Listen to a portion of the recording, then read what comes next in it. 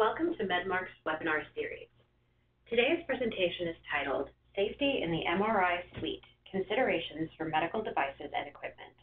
I'm Kate Klaus, Staff Attorney in Medmarc's Risk Management Department. On behalf of Medmarc and today's presenter, Dr. Joshua White, thank you for joining us. Dr. Joshua White's experience includes identifying risks associated with medical devices in and around MRI scanners. He frequently assists clients to develop custom protocols for performing MRI compatibility testing according to the relevant ASTM and ISO standards based on the risk profile of the device.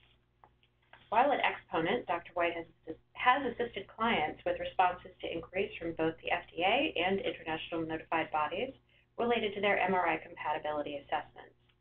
Dr. White is knowledgeable in particle analysis of orthopedic and cardiovascular medical devices. He's experienced in the generation of particles using benchtop methods, including pin-on-disc testing, simulator testing, and tortuous track models. For particles embedded in tissue or wear fluid, he is also well-versed in isolation techniques that rely on both chemical and enzyme-based approaches. Dr. White is also skilled with particle characterization techniques, including scanning electron microscopy, energy dispersive X-ray spectroscopy, dynamic light scattering and light obscuration, and inductively coupled plasma mass spectroscopy. Dr. White is also experienced with the execution of medical device retrieval programs that incorporate his knowledge of biomaterials, tissue assays, and, sur and surface characterization techniques to evaluate devices and associated animal, cadaveric, and human tissues. He has helped clients establish international device and tissue retrieval programs in accordance with ASTM, ISO, and IATA standards. As such, he has evaluated device performance and performed failure analysis of devices at the preclinical, clinical, and post-market surveillance phases of the total product life cycle. And with that, I am pleased to turn things over to Josh. Thanks, Kate, and thanks also to Medmarc for having me today. I'd like to wish you all a good morning or good afternoon, and also thank you for taking part in the presentation today. So with that, I'd like to start with the end in mind. Specifically, why do we care about MRI safety, and why is it important in the context of medical devices and medical equipment? To that end, let's start briefly with an example of what can go wrong when the appropriate safety testing is not conducted or the appropriate clinical safeguards are not put in place. Approximately one year ago, you may have read the story about a gentleman that died as a result of what's called a projectile missile incident. In this situation, the gentleman was carrying a ferromagnetic oxygen cylinder into the MRI scanner suite, and because of the extremely strong magnetic forces present in the room, the gas cylinder was rapidly pulled into the MRI scanner. In essence, as the name implies, it turned the gas cylinder into a projectile missile. The man who was holding onto the cylinder was also pulled along with it, and ended up dying as a result of the injuries he sustained from the incident. Such an incident shows the importance of following relevant standards and best practices to ensure MRI safety. The other thing to note here, and something we'll discuss in greater detail later, is the statement in the report from the FDA MAUDE database related to safety directions as presented in the instructions for use. This is significant because the end output of, of all MRI compatibility testing is a set of labeling recommendations that are incorporated into the instructions for use for the MRI scanner, medical device, and or medical equipment. Such labeling is extremely important to communicate to healthcare providers whether or not certain medical devices are safe to scan inside a patient and whether equipment is safe to bring around the MRI scanner. So before we get into too many of the specifics of MRI testing, I'd like to take a step back to discuss product development as a whole. Here at Exponent in the Biomedical Engineering Group, we are routinely helping clients at all phases of the total product lifecycle. So early on, for example, we often assist with medical and, and economic assessments, QMS gap analysis, and technology landscaping. And as products advance through the pre-market testing stages, we often aid with the test method development, execution of benchtop testing according to international standards in our ISO 17025 accredited labs. Uh, we perform evaluation of specimens from preclinical testing, computational fluid dynamics, for the evaluation of thrombogenicity and hemolysis, finite element analysis, and design validation. We frequently also assist clients with US FDA and international regulatory submissions, and once devices are in commercial use, also perform post-market surveillance, device retrieval analysis, medical device reporting, failure analysis, and health economics economics research, to name a few. In the broader scope of device development, MRI testing is applied to all medical devices, including devices intended for use in the applications shown here. So although we perform MRI safety and compatibility testing at all phases of the total product lifecycle, we most frequently do the testing during the preclinical uh, stages, as well as during regulatory submission and commercial use phases. Of those two, the most common area that we're asked to, to perform safety and compatibility testing is just before or during regulatory submission. We see this request from both the United States FDA and more recently have been seeing an increasing number of requests to perform MRI testing, MRI testing as a result of the European MDR, which requires medical device manufacturers to include the appropriate warnings, precautions, and labeling with regards to common external influences such as magnetic fields and external electric and electromagnetic effects as you might find in MRI scanners. So MRI safety and compatibility testing is incredibly important to ensure patient safety.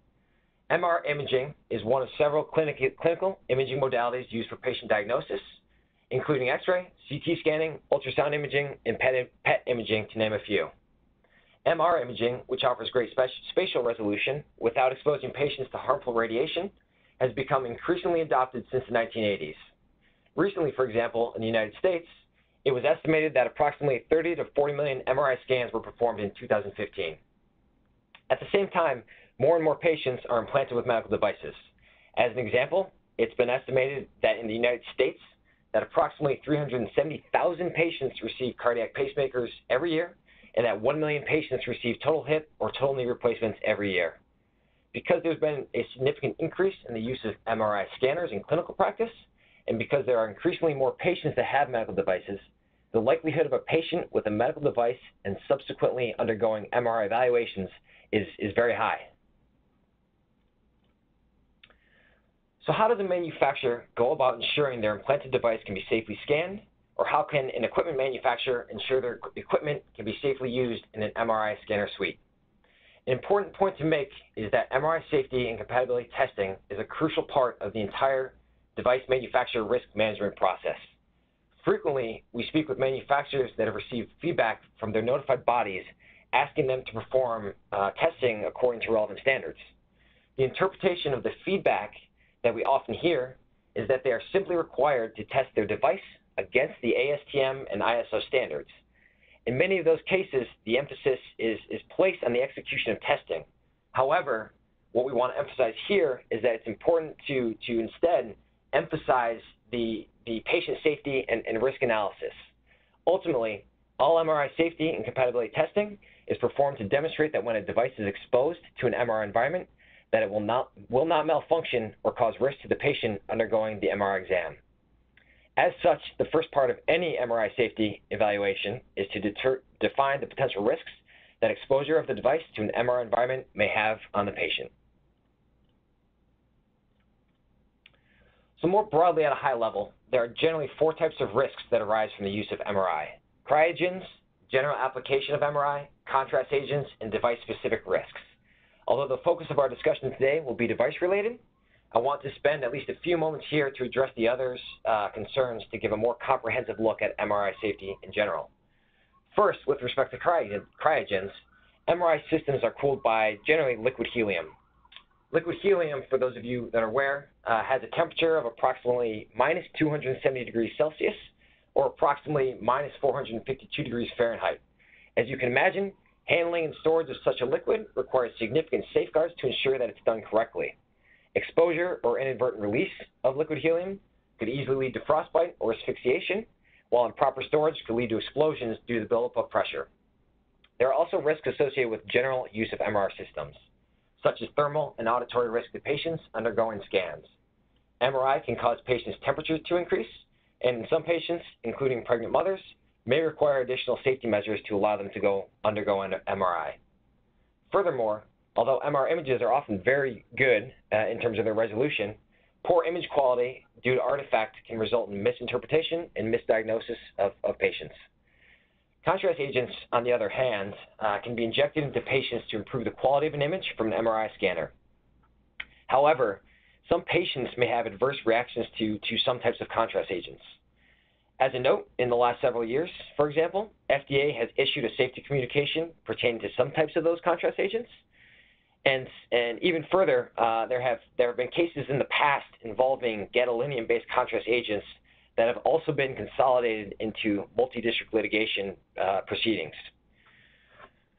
So now that we've covered some of the other risks at a very high level here, I'd like to speak a little bit more specifically about the inner workings of MRI uh, first, and then how the, uh, the functionality of those MR systems relate to device-specific hazards.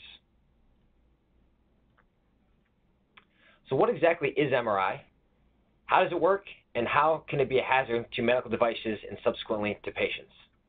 First of all, magnetic resonance imaging, or MRI, is a clinical imaging modality much like I've, I've talked about previously, X-ray, CT scans, ultrasound, and PET scans, MRI allows clinicians the ability to visualize internal organs. And unlike some other imaging modalities, MRI doesn't expose patients to radiation, which in many instances is a significant benefit compared with some of the other, the other uh, modalities that we just discussed. When we look in, at an MRI scanner, the, uh, the guts per se of the MR systems contain a superconducting magnet, radio frequency coils, and gradient coils while the patient bed moves the patient in and out of the scanner bore. From a functionality perspective, the main superconducting magnet generally contains a lot of coils of wire that conduct electricity. This is the component of the system that's cooled by liquid helium that uh, allows high levels of current to flow through the coil itself, which in turn allows the system to create the strong magnetic fields that are always present, even when the machine is not scanning. Commercial, commercially available scanners often have field strengths of 1.5 Tesla and 3 Tesla, and recently cleared cl clinical scanners also have field strengths of upwards of 7 Tesla. The direction of the magnetic field, as you see indicated here, is into the bore and, and parallel to the scanner bore. So to provide a rough order of magnitude estimate, MRI scanners are approximately 1,000 to 10,000 times stronger than your common refrigerator magnets. Furthermore, to give a rough estimate of the strength of the magnetic field, some metal objects can be pulled so strongly that the forces acting on them are, are ranging from 60 to 250 times larger than the weights of those, the objects of, of those objects themselves. Finally, the function of this mag, uh, main magnet is to cause alignment of hydrogen ions within the magnetic field, which, as we'll discuss in a moment, are what allows MR images to be, to be obtained. So during scanning, the radio frequency coil, sometimes referred to as the RF coil, delivers electromagnetic waves and pulses that transfer energy to the hydrogen atoms. Only certain hydrogen atoms absorb and then subsequently release that energy, which is what results in an image being generated by the MRI scanner. Different tissues have different absorption and release characteristics, and as a result, different parts of a scan will have different signal intensities. The gradient coils, on the other hand, apply local perturbations in the main magnetic field, which allows spatial encoding in the X, Y, and Z directions. Ultimately, the application of all three coils simultaneously allows MR images, which are sometimes referred to as slices, to be generated. So now that we've covered some of the MR basics, uh, I'd like to touch briefly on how we characterize medical devices. So when it comes to device-related safety concerns, there's really two buckets of, of device types that are traditionally considered. Some of the risks to be considered are the same for passive and active devices, while some of the risks that are applicable to active devices may not be applicable to those passive device counterparts. So because the, device, because the types of risks associated with each device may differ, it's important to understand the differences between the two. So as the names imply, the biggest differentiating factor between the two classes of devices is the presence of a power source. Passive implants, on the one hand, have no power source, and they provide treatment strictly via their design. For example, orthopedics devices such as hips and knees are designed to withstand millions of cycles of loading, while drug-eluting stents are designed to elute drug at a predetermined rate based on the composition of the drug coating. Examples of these devices, as you see here, are hips or knees, stents, heart valves, to name a few. Active devices, on the other hand, uh, have functionality that's associated with a power source that can be programmed to, to be changed over time. For example, neurostimulators, pacemakers can be programmed to deliver different treatment, treatment regimes uh, with modified frequency of delivery, and implantable drug pumps can be programmed to deliver more or less therapy at different time points. Examples of these devices include, again, neurostimulators, pacemakers, and cochlear implants, to name a few. Oftentimes, when we think of active devices, the other thing to, to point out is that they generally have two types of components. First is that they have the component associated with power of the device, sometimes referred to as a CAN or an IPG. And secondly, uh, the leads that extend from the IPG to the site where therapy is being delivered.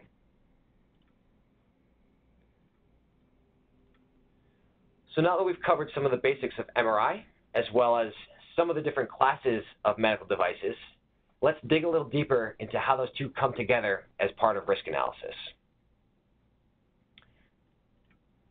So as you can imagine, hazards associated with both passive and active implants can arise from the interaction of devices with all three types of the magnetic fields in the MRI scanner, the static field, the RF field, and the gradient field. The combined interaction of all these field types can also lead to additional hazards.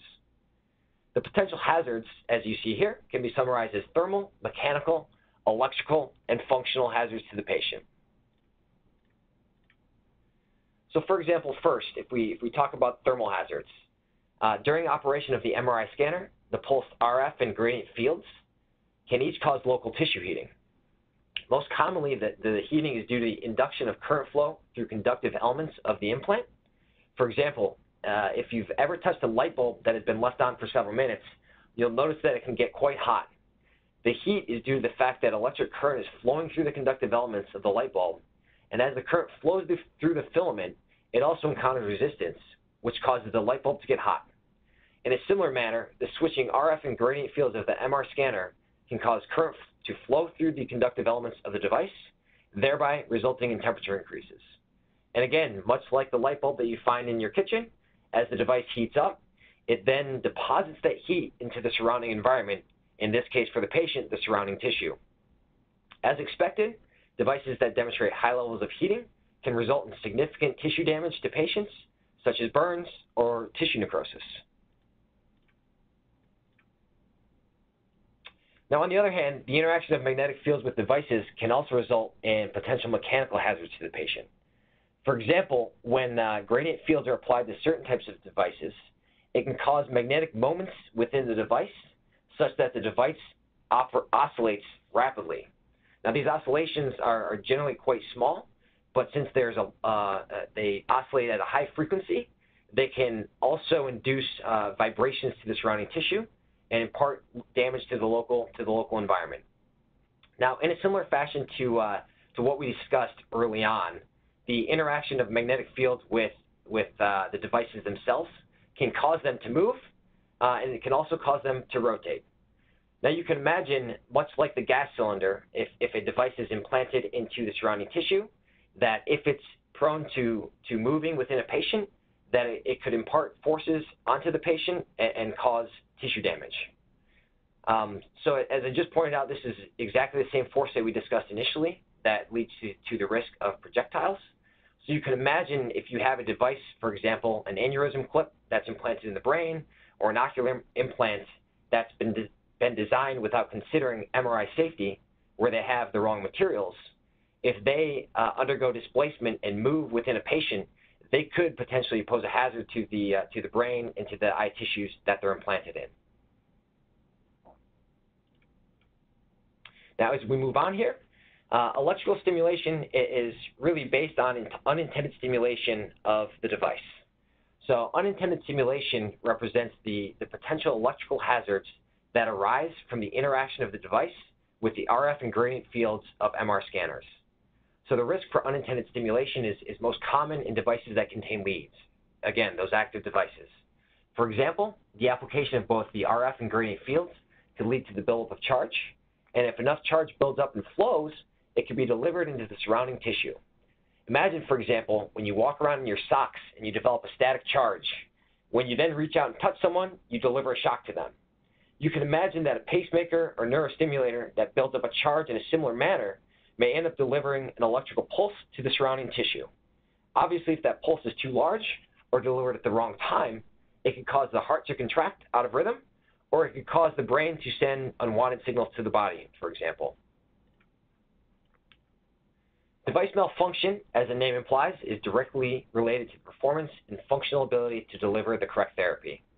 Any of the fields generated by MRI or the simultaneous application of those fields could lead to device malfunction. Now, when we think about malfunction, it's really, really broad in terms of the performance issues that it covers, such as changes in delivery of therapy, reduced efficacy, or total loss of function. You can imagine, for example, an implantable drug pump that malfunctions during an MRI may lead to a large bolus delivery of drug or stop the delivery of drug altogether, both of which could lead to serious adverse events for a patient. Image artifact, uh, unlike the other hazards, is not necessarily a direct risk to the patient, but rather it poses a risk to the patient because the presence of artifact around a medical device can cause a radiologist or clinician to, to incorrectly read the images where the device is implanted. In such, case, in such cases, the radiologist could potentially misdiagnose the patient which would subsequently lead to the patient receiving incorrectly prescribed or delayed therapy. Ultimately, for each hazard type described here, it's up to the manufacturer to determine if each hazard poses a risk to the patient and how, how best to mitigate the risk to the patient by either designing safety into the device or providing the appropriate labeling to guide safe scanning procedures. So now that we've covered uh, the identification of risks. How does a manufacturer go about testing the device or medical equipment for MRI safety and compatibility? The good news for manufacturers submitting to the United States FDA, for example, is that they have provided guidance about the relevant considerations for performing MRI safety and compatibility testing. For example, a manufacturer must provide rationale for test conditions, acceptance criteria, and why a certain device undergoing evaluation is representative of the worst case that could be evaluated. Furthermore, FDA and notified bodies outside of the United States recognize testing that is performed according to voluntary consensus standards. Therefore, manufacturers are able to rely, at least in part, on those documents to guide the execution of testing. So what are those standards and how are they used to evaluate devices for MRI safety? So if we revisit our previous table that outlined the potential hazards that a device could pose to a patient, we can add another column with the corresponding standards that are used to evaluate the devices for the specific hazards listed.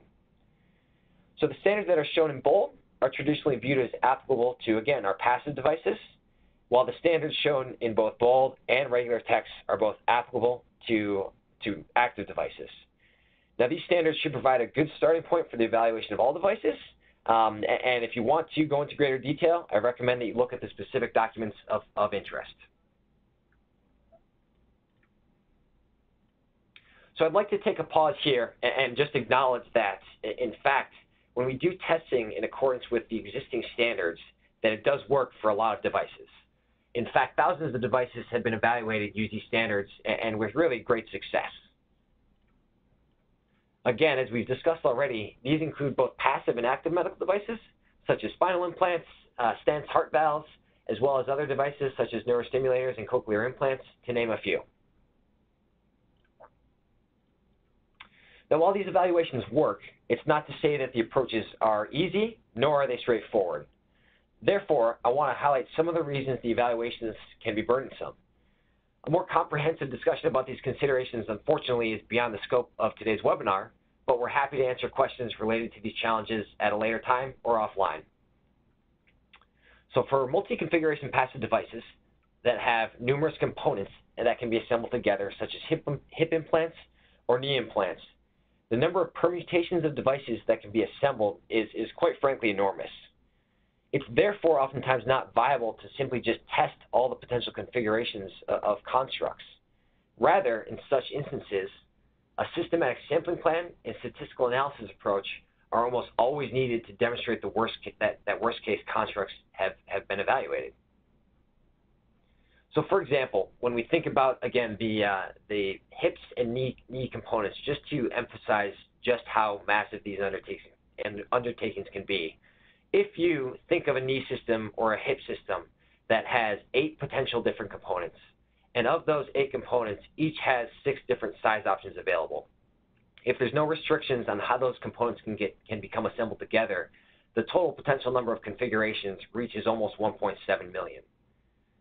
Therefore, like I talked about, one of the hardest things with doing testing for passive medical devices is when there are multi-configuration devices on hand. And in such a case, a rather robust systematic sampling and statistical analysis approach is almost always needed to demonstrate the, uh, the, that worst case constructs have been evaluated for determining the appropriate labeling conditions.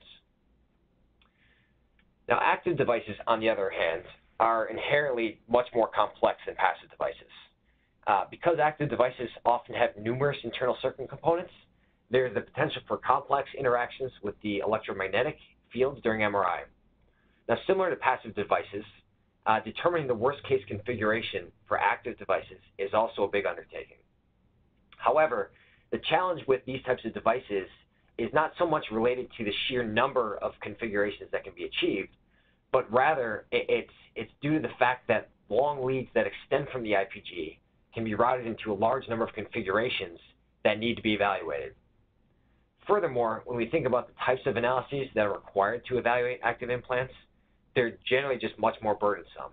Uh, some of the types of, of things that need to be done during these testing and evaluations are to build a validated simulation environment, to determine transfer functions for the devices, and to utilize human body modeling to predict the electric fields and exposure conditions to which these devices might be exposed to in the human body. So that being said, uh, testing in accordance with the existing standards, you know, while it works and it works well, it also has limitations. Uh, much of this is due to the fact that the science of MRI safety has evolved so quickly over the last decade, and now we're seeing many instances where either devices aren't being evaluated against all the right standards, or the science has changed so quickly that the, that the standards used to guide all of this testing may not have kept pace. In such instances, manufacturers often find themselves in situations where they have to do more or different types of testing to demonstrate safety and compatibility of their devices. So now I'd like to use the, a, a few case studies or a few examples to, to demonstrate how this might, might happen. And so to do that, we're going to first start with uh, a discussion about gaps in standards. So first of all, um, when standards are, are, traditionally applied to MRI testing, uh, like I said before, they've been done so with, with great success in the, in the past. However, as we are about to discuss, ASTM and ISO standards, um, while they provide a solid foundation for evaluating medical devices for MRI safety and compatibility, uh, they, there may be gaps in terms of how they're applied to different types of medical devices. In the traditional sense, when we think of the application of standards and their evaluation for MRI safety and compatibility testing for passive and active devices, we generally think of it in this way.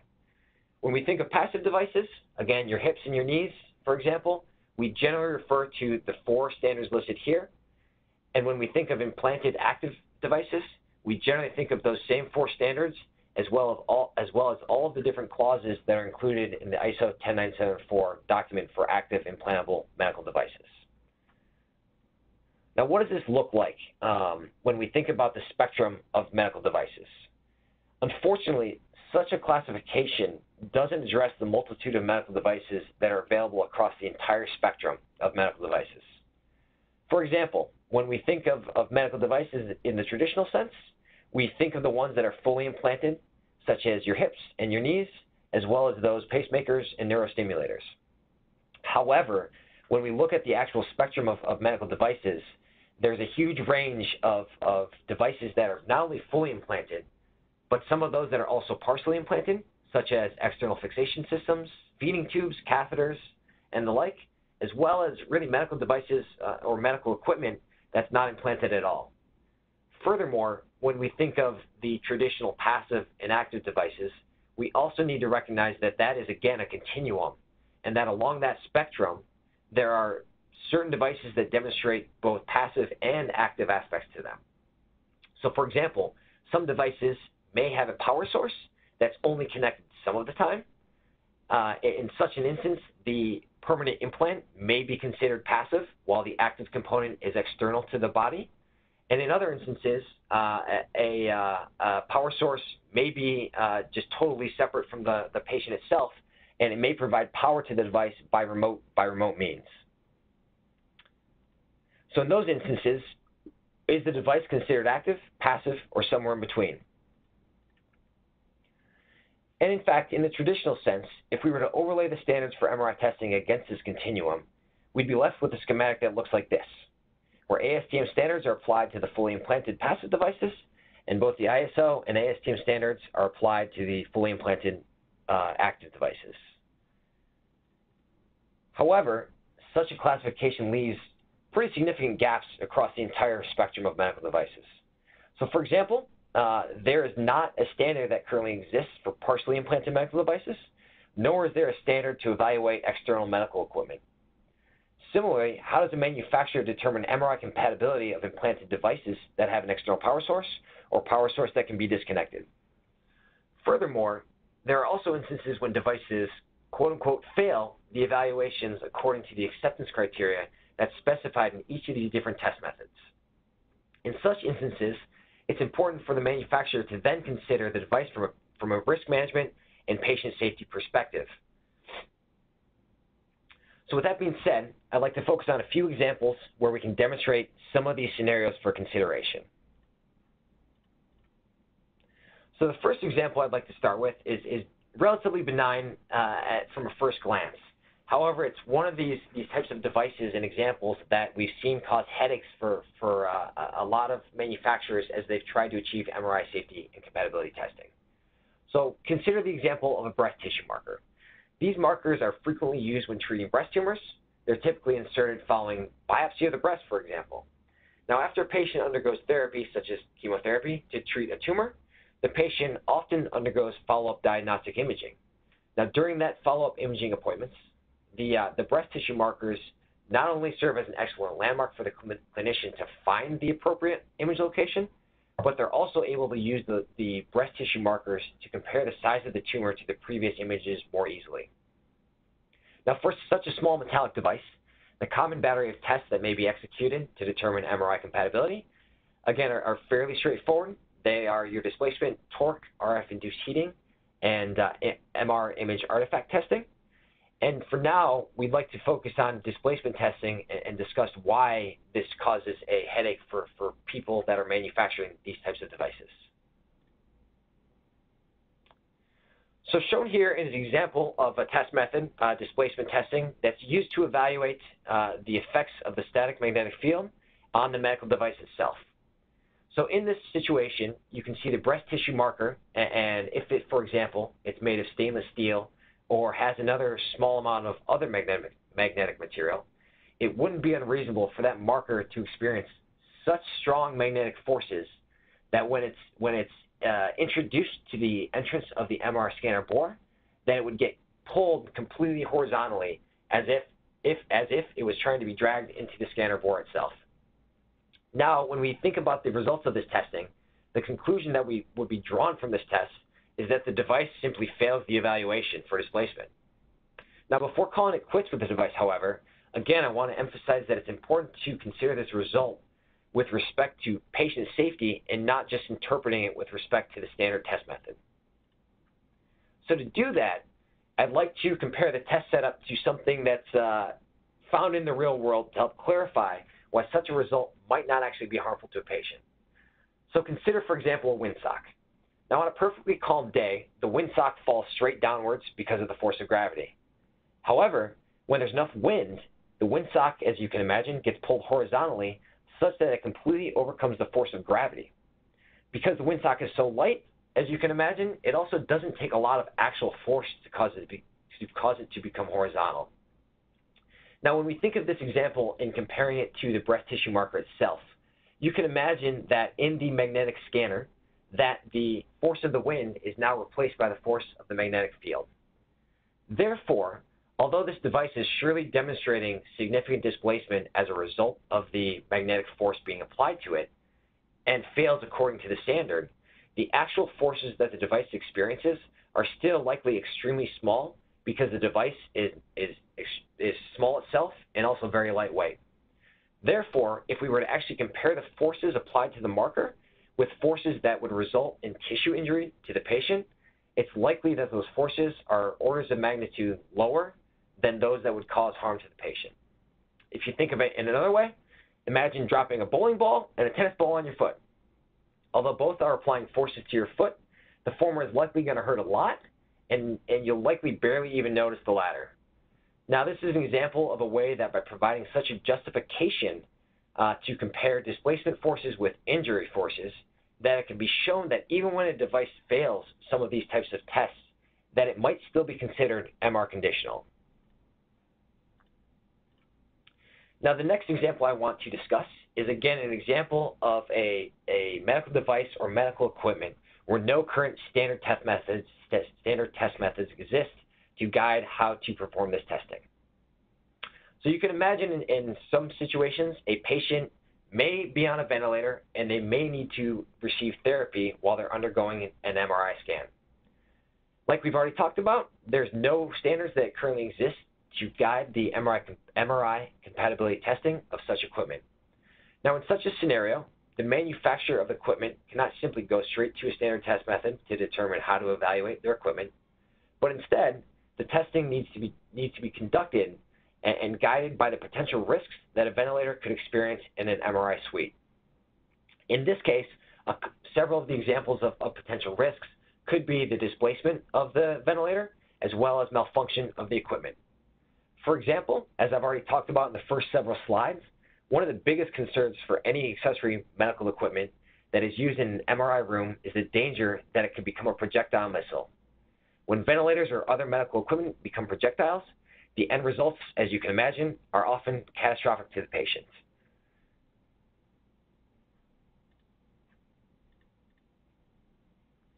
If, therefore, a manufacturer wants the equipment to be considered conditionally safe, they'll first have to demonstrate that the ventilator can be maintained in the room without being pulled into the scanner.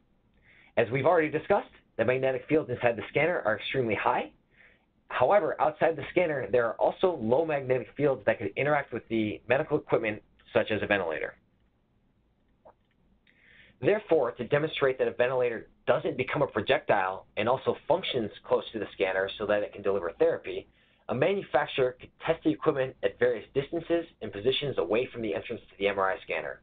As you might expect, the further you move away from the scanner itself, the lower the magnetic fields get.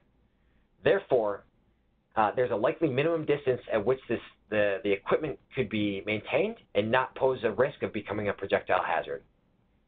Furthermore, when considering functionality, we should not only be considering the distance from the scanner itself, but we should be considering several other factors related to functionality. For example, uh, would a ventilator or other equipment need to be oriented in such a way where the magnetic fields are, are not causing malfunction of certain components within the, uh, the equipment itself. Uh, similarly, a, a, ventilator may be operated in, in several different types of, of, delivery or therapy modes. And therefore, it's important to not only consider the, uh, the functionality of the device in the absence of MRI scanning in all the different scanning modes, but it's also important to consider the functionality of the equipment when the MRI scanner is actually delivering therapy and acquiring images. Now, the third example uh, is, again, much like the breast tissue marker, uh, fairly well defined in terms of the types of tests that need to be conducted to demonstrate MRI safety and compatibility. Again, because it's a passive device, the peripheral stent uh, should be evaluated for displacement, torque, RF heating, and artifact. Now, in this case, I want to emphasize RF-induced heating because peripheral stents, unlike their counterparts that are used for coronary applications, um, are usually quite long and as their name implies, are implanted in peripheral vasculature, for example, in, in your arms and legs. Now, in such a, a, scenario, the test methods that are often described for RF heating are often insufficient to fully capture the risk of the device causing harm to the patient.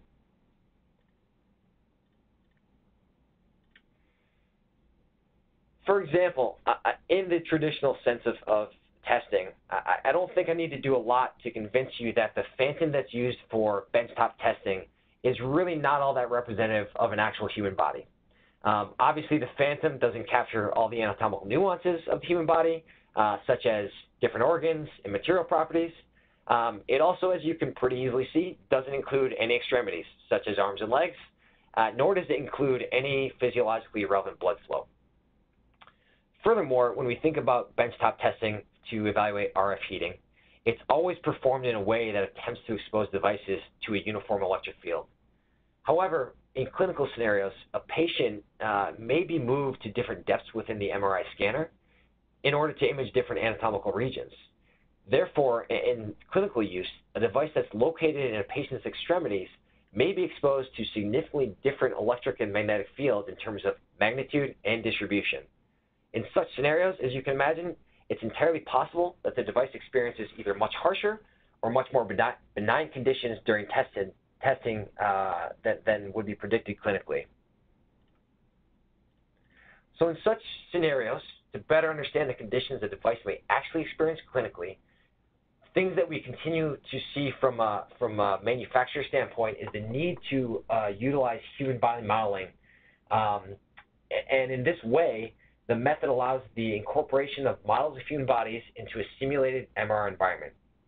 Now, by performing simulations of the patient in this type of environment, we're better able to predict the actual magnetic and electric field that a device is exposed to during scanning, as opposed to using the benchtop model as, a, as an end-all be-all. Now, the other thing, as you can imagine, that we just talked about is the fact that to consider is the fact that uh, fluid flow and in a patient blood flow would have a significant dampening effect on the amount of heating that a, that a device experiences. So for a long, slender stent that's tested using the traditional methods, you can expect that the stent will experience a significant amount of, of heating. So for example, when you test by the benchtop method, the, uh, the trace you see here in brown might be indicative of a result you, you find by doing the testing in the traditional method. It wouldn't be unreasonable, for example, for such a device to heat by 20 to 30 degrees Celsius and in such a scenario provide a significant risk to the patient. However, if numerical simulations or, te or testing were performed that incorporated uh, the stent as well as the pre presence of relevant blood flow conditions, you can imagine that the predicted temperature increase may reduce by easily an order of magnitude like you see here. So this is an example now when we think about evaluating devices where the types of tests and evaluations that need to be performed are actually more significant than what is prescribed in the standard test methods. So in a situation such as this, uh, the benchtop testing uh, would likely significantly overestimate the amount of heating and suggest that the device is really unsafe for use in, in a patient population. Therefore, in these types of situations, it's up to the manufacturer to not just rely on that benchtop testing, uh, but to uh, rely on other methodologies such as human body modeling and computational fluid dynamics to perform additional characterization and demonstrate the safety of their device in an MR environment. Now, I want to touch on one more example uh, to, to, demonstrate some of the ways that MR uh, testing has been evolving uh, over the, the last decade and, and, really recently in the last couple of years. So I want to consider a scenario uh, and really to emphasize where different and more clinical imaging modalities may be desired as part of a manufacturer's workup to demonstrate MRI safety and compatibility. So for this, I'd like to use an example of a neurovascular embolization coil. These coils, as you can see in the figure on the bottom left, uh, are often deployed into aneurysms, and their, their application and their intended use is to occlude blood flow. Now, this is an example of a device that is often imaged clinically with much different scan sequences than those that are tested in the benchtop experimentally.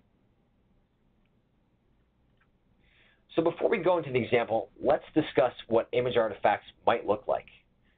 Shown here are two examples, examples of MR images that were acquired of intrauterine devices with different scan sequences.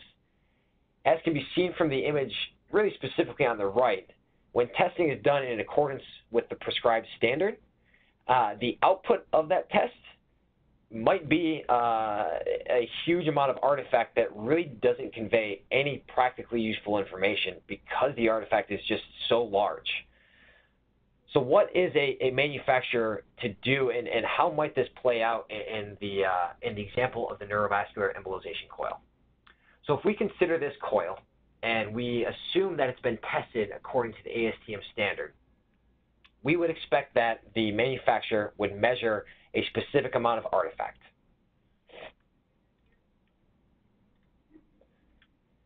Now, if we think about a patient who's undergoing uh, an MRI that has a, a, the same coil that's been implanted, the output of that MR image would likely have a, a, a black spot, much like we just saw from several slides before, that uh, needs to be interpreted by the, by the attending clinician or the radiologist.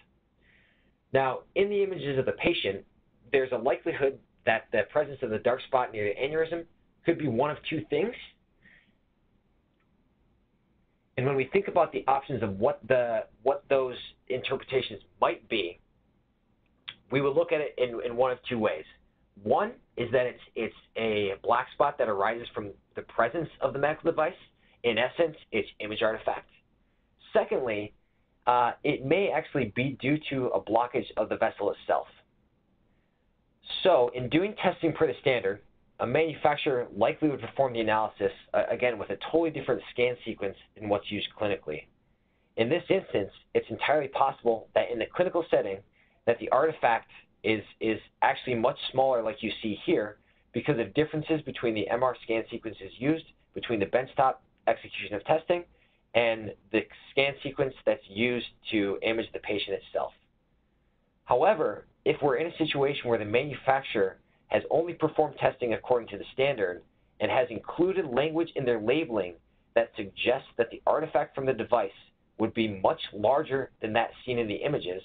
So again, if you compare the, the top left schematic of a large artifact relative to a potential output of, of, the, uh, of the device itself, it's entirely possible that the clinician may actually interpret the image as a blockage because the, the image that's seen eh, from the patient is indeed much smaller than what was measured experimentally. Now, in that type of scenario, like we talked about previously, the next steps may be for that clinician to reoperate on the patient, further exposing them to unnecessary surgical risk. So in such a, a scenario, it may actually be more desirable for the manufacturer of these devices to perform testing on a benchtop that more cl closely matches actual clinical scenarios. Now that can be done in, in a couple of different ways.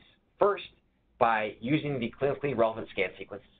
And second, by incorporating a test setup where the uh, scenario and the, and the test environment most closely matches the material properties of the patient itself, him, himself or herself.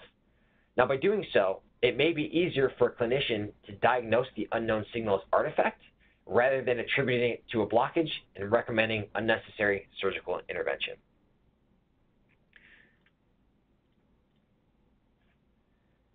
So hopefully that gives a, a, a, an example of some of the different ways in which current standard test methods may not be fully comprehensive and also scenarios where additional testing and characterization may need to be done to demonstrate safety of medical devices in an MRI scanner. So after all this testing is done, the final output from any of this work is to prepare the appropriate labeling for the device or the equipment. Now devices and equipment should be labeled either MR safe, MR conditional, or MR unsafe, depending on the results of the testing. Generally speaking, the only devices that are labeled MR safe are those that just don't have any metal components whatsoever.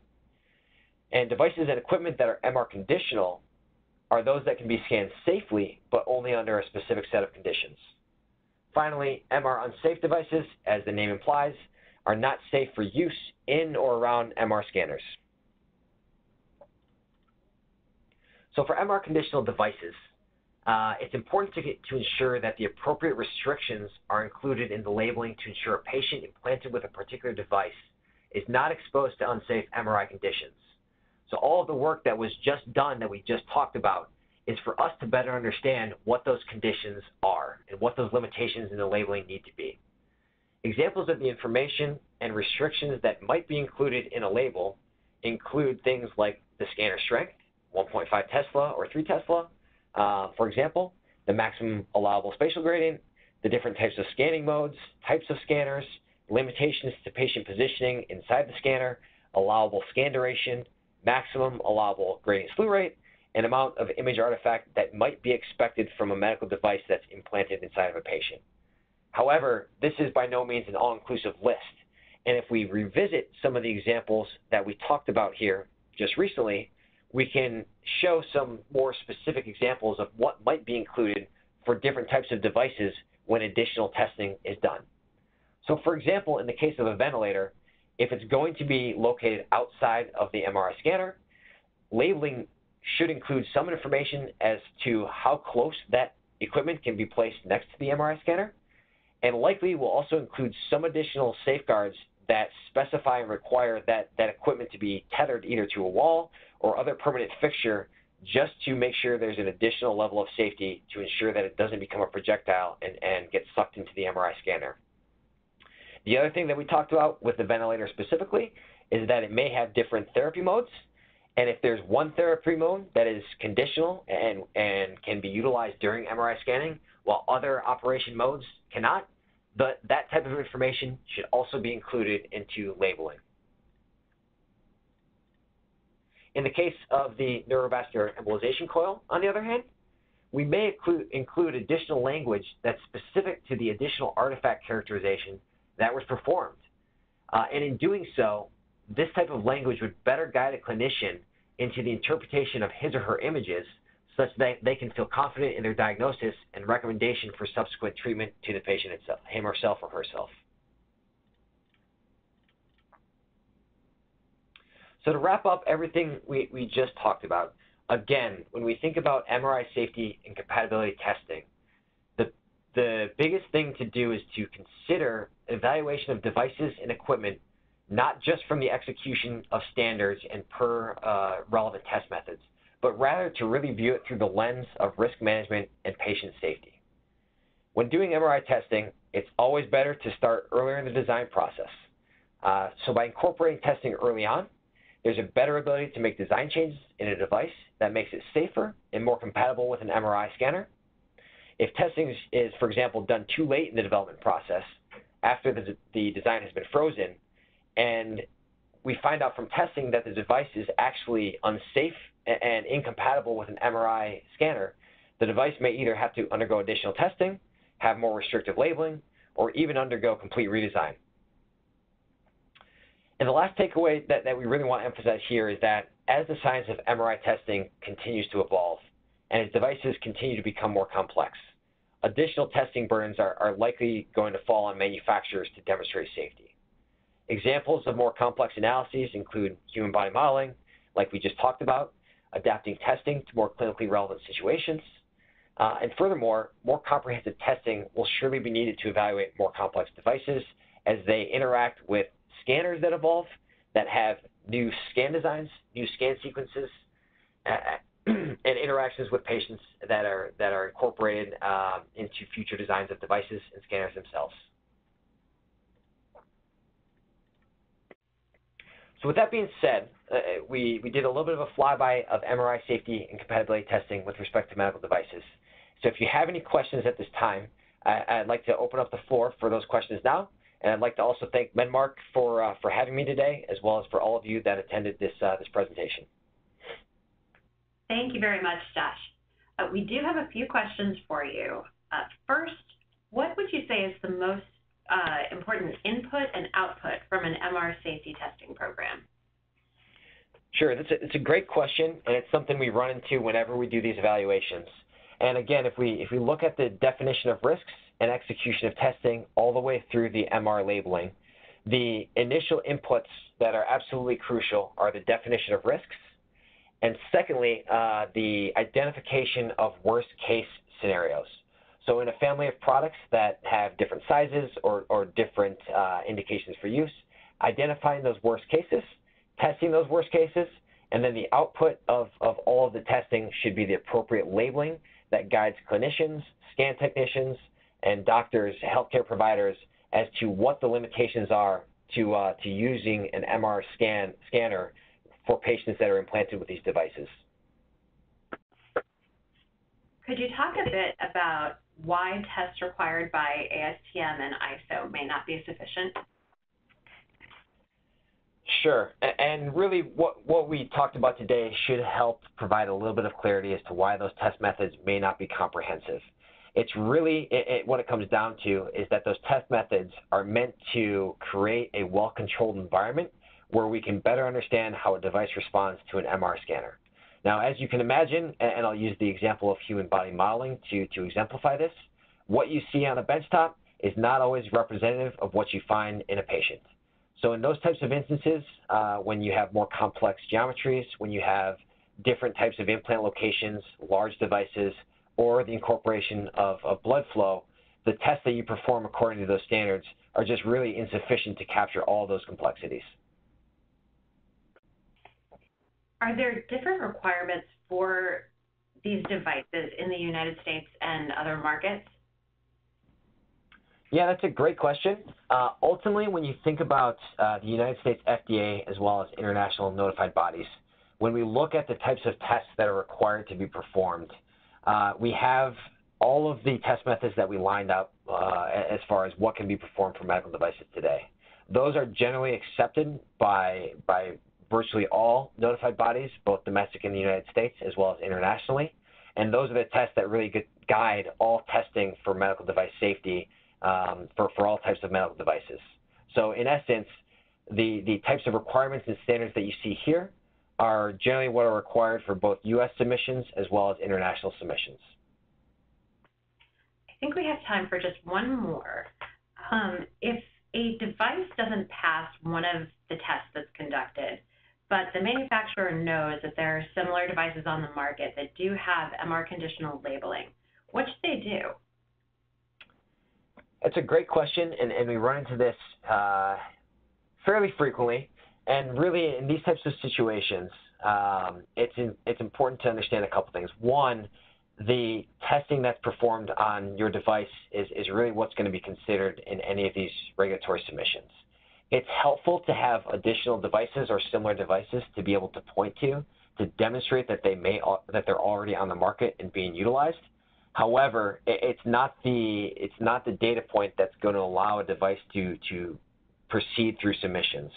So when those types of when those devices fail uh, per a test method, uh, like we talked about today, usually the best approach is to go back to the drawing board and figure out if that failure is indeed a true failure that leads to um, patient safety risks, or if there's additional analyses that can be done to demonstrate that even in the light of failure, that there's other characterization and other testing that can be done to demonstrate safety. Once that's been done, uh, pointing to additional devices that, that have uh, MR labeling that are already on the market is a great add-on and something else that can be done to further solidify safety, but is, is rarely done in a vacuum in and of itself. Thank you very much, Josh. Thank you for joining us. This concludes today's webinar.